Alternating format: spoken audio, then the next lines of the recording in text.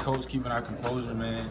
I mean, that's a big thing we emphasize in the offseason, keeping our composure, control, we control, and that's what we did. We came out with the win. Yeah, I mean, he's doing what I was coached. Uh, staying in, staying in the right coverage. He's doing what I was coaching. I made a play for my team and they needed the move. So, I mean, we're a brotherhood. I mean, we got each other's back. You know, they were struggling a little bit, so we had to pick it up on defense, and I made a play, and it just kept rolling from there. And they eventually got rolling, so we all worked, worked out in the end.